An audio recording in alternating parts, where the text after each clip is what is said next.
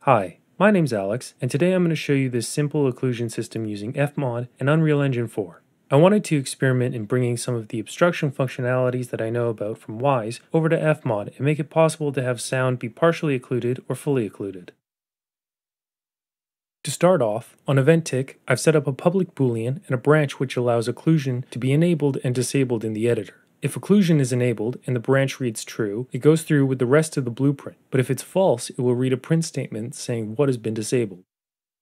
To not use as much CPU power, I've included an occlusion refresh interval so that it's possible to define how often the trace is fired. So I have the numerator set to 1 and then the occlusion refresh interval set as the denominator and then that gets fed into the delay. By getting a float value of 1, when I increase the refresh interval number, the delay will be smaller and smaller.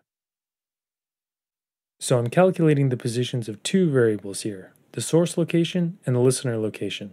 In the calculate positions function, the ray trace will be drawing a line between the source location and the listener location, but by default it will draw towards around the waist area of the player pawn. By running the operation vector plus vector, that allows me to control the z-axis and place the trace where I want it. Then at the end of the calculate positions function, I'm returning a float value of the distance between the two variables. This distance float is being stored by calculating the difference between the two locations of the source and the listener, then comparing it against a maximum defined distance. If the player exceeds the maximum defined distance, then none of the traces are run, so no processing power is wasted on something that the player wouldn't even be able to hear.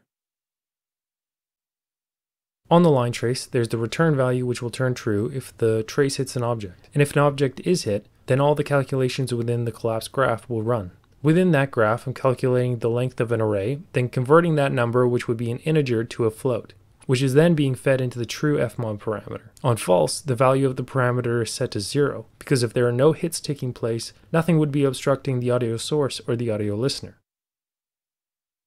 To finish off with this blueprint, everything is collapsed down into a macro, just to keep the event graph looking nice and neat.